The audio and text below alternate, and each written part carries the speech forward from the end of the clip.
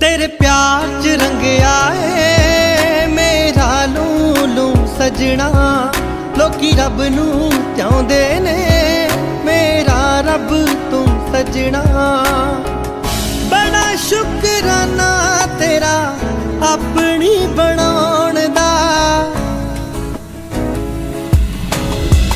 ਧੰਨਵਾਦ ਤੇਰਾ ਮੇਰੀ ਜ਼ਿੰਦਗੀ ਚ ਆਉਣ ਦਾ।